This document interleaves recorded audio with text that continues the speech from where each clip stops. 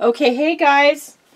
We are going to take some bits and pieces today and experiment and play with them and try to create an interesting piece of art that the rest of my family and maybe some of you are going to go, I don't get it. But that's okay. You don't have to. so Canvas Corp has um, this new line they're going to be coming out with. I don't think at the time of filming this, which is the beginning of February, that it's out yet.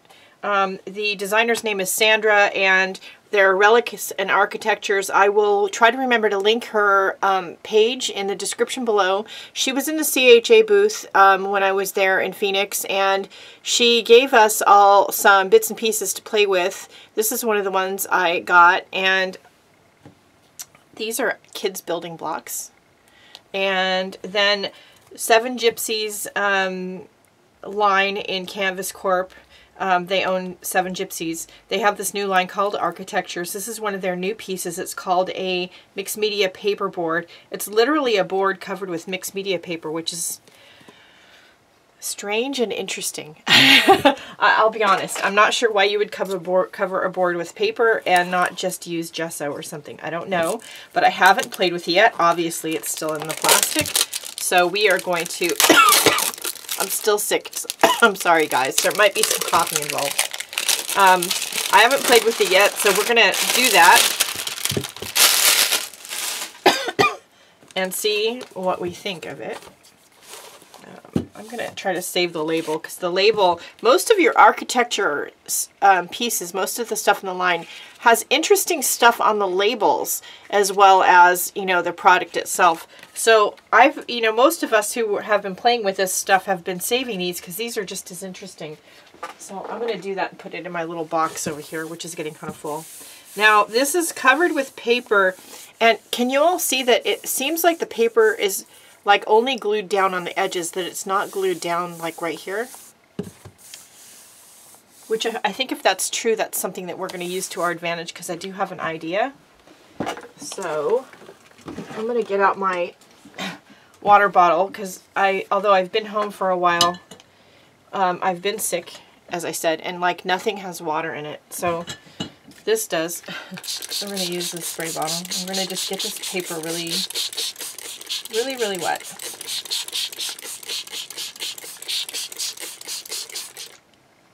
Like really, we just want to soak it. And I want to try to rip it back from the board underneath. Which is totally, I'm not sure. I don't think that's probably what they intended for you to do with it when they made it, but I'm going to put a little hole in the bit in the middle, hopefully.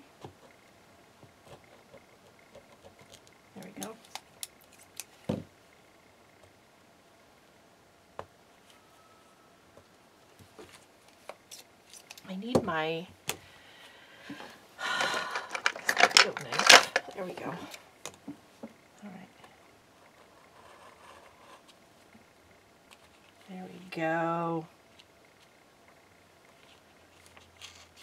So I just want a hole that's big enough that I can rip because I really want it to be ripped instead of cut.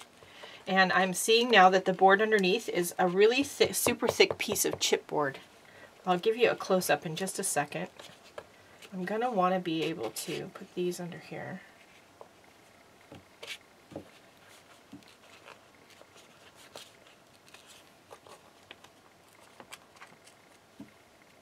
Okay. So we're going to leave that just sit for a minute. I'm going to turn it this way. Oh, I was going to give you, so if you look inside, it's just really thick like super thick piece of chipboard. All right, we're gonna cover that so I don't cut myself. I have a box from my prescription delivery that just came. Um, I use an online pharmacy and I want to use it. Just like really weak and tired. This cold flu thing that's going around, you guys, don't get it if you can help it because it really just kicks your ass. All right. So I'm going to cut a couple of decent sized pieces of this box. Let's see.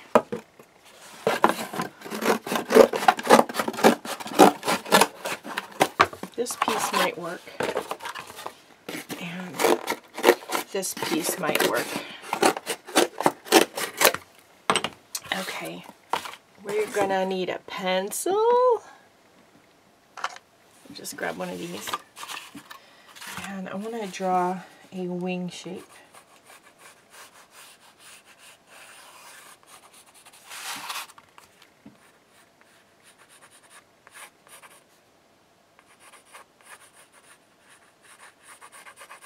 Just a loose sketch of a wing shape.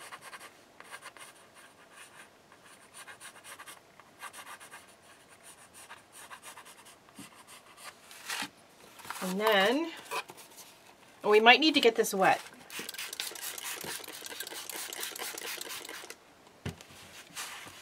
It might rip easier for one thing.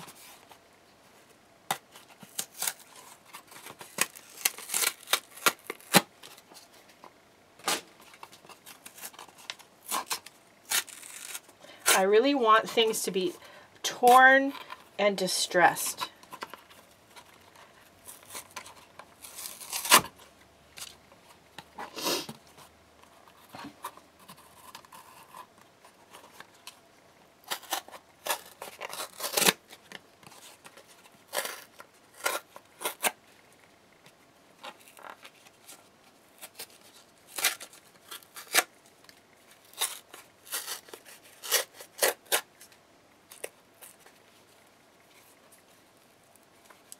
Now you might need to like do this. I want there to be sort of feathery shapes. And then like tear and distress the edges so that, you know, it doesn't, it's not so obvious that you cut it.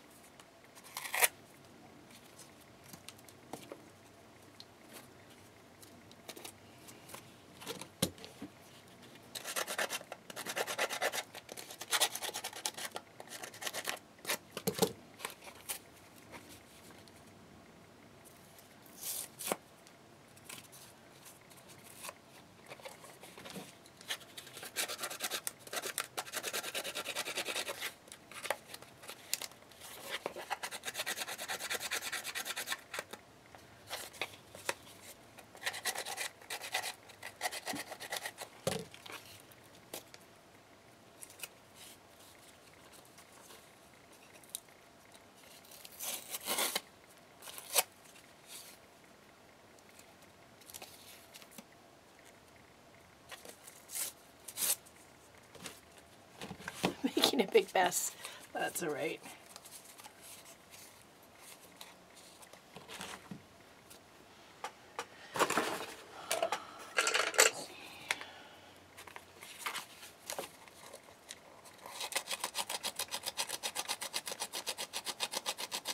This is one of those little Tim Holtz distressing tools.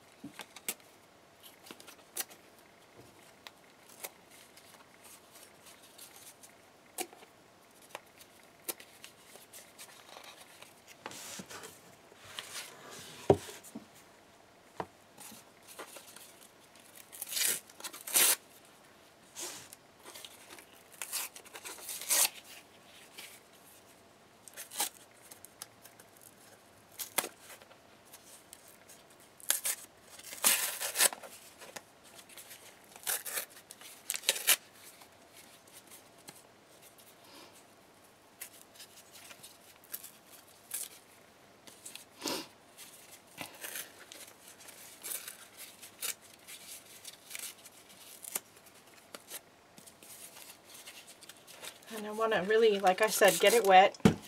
I want to crinkle it, wrinkle it, distress it. I don't want it to be anywhere near perfect. Okay, now the trick is going to be doing another one. All right, so once you're happy with the one, do another one. They don't have to be identical twins, but maybe just sisters. All right, so I'm going to um, do that and I'll be right back. Okay, so I'm going to place my um, resin piece from Relics and Artifacts in and my two blocks that I want to be in here. I'm just, I'm not gluing anything down, not yet. Alright, and then I'm going to like rip another little hole up here.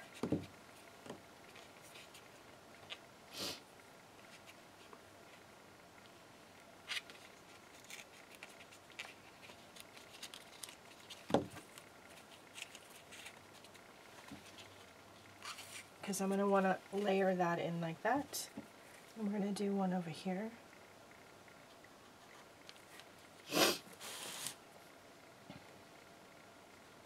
Now this is mixed media paper, so um, it's not going to, if you're going to do something like this, it's not going to rip super easy. Uh, by the same token, it seems to be fairly good quality paper, so if you're going to paint on it or layer things on it, it seems to um, be a kind of paper that would hold it very well.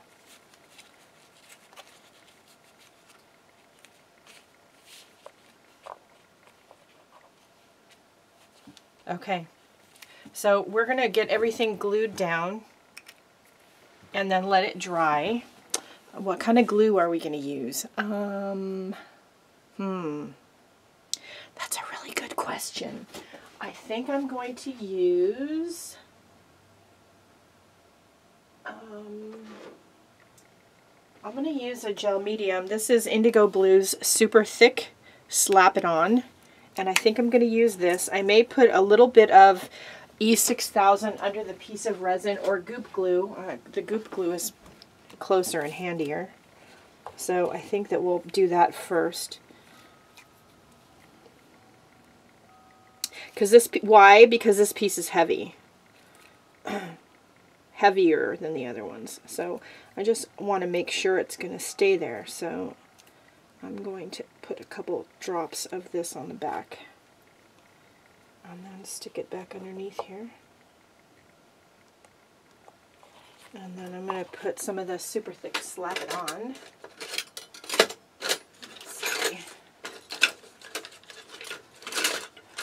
You know, I can never find a tool the tool I'm looking for when I need it. Uh, there it is. Found it, this one, so I can get in the cracks. Alright. So I'm going to open up my paper here and just literally slap a bunch of this on here. And then I'm going to put my little wood piece. Get that off of the underneath of the nose so it doesn't look like he has a booger. That wouldn't be attractive. Okay. And then put this one down here.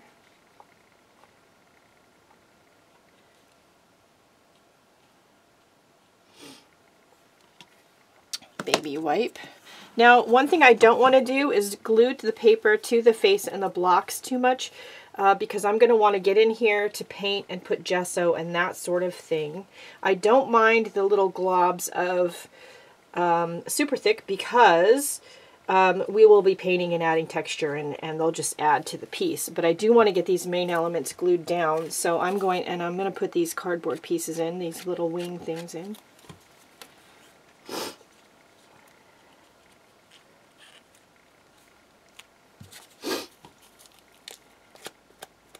Now gel medium notoriously, you know, takes a little while to dry, so I just totally put that on the wrong, no I didn't. I am still sick. I get confused easy. Okay, I'm going to wrinkle these up a bit more. There we go. Alright, so I'm going to leave it just like that and let it dry. Again, I'm trying not too much to stick the paper down over the face, although I am going to want it to stick there a little bit at some point, but we're going to do that later. Um, for right now, I just want the main elements to be stuck down. Then we're going to gesso it. Then we'll adjust our ripped paper folds to be sculptural and probably do some more gel medium gluing and then we'll do some painting. All right, so those are our steps. We're going to let everything dry right now and I'll be back. Okay, we've got some gesso. It's not quite dry, but it's kind of dry. Kind is good, right? I gotta get the gesso open. Hold on. There we go.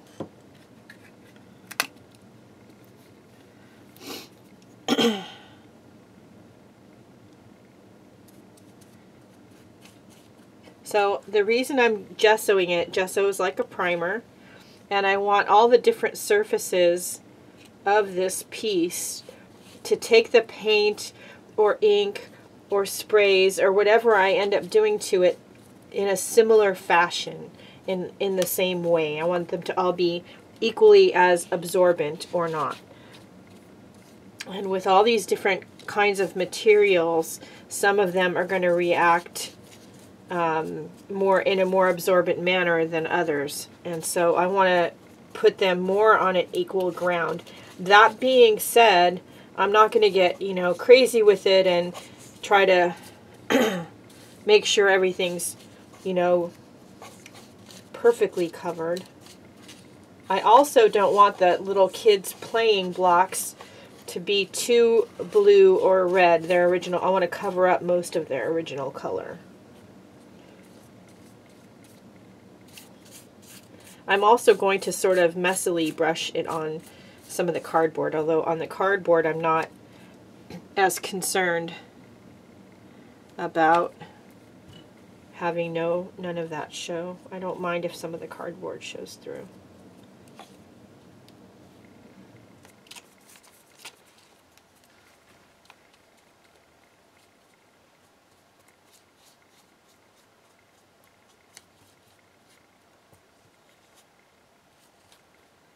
Probably have to do, you know, a couple of coats, and that's fine. And I'm not going to, like I said, I'm not going to be too concerned if, like, on the wings, on the cardboard wings, if, you know, it's just no more than that. Um, or if some of the paper doesn't have it on there.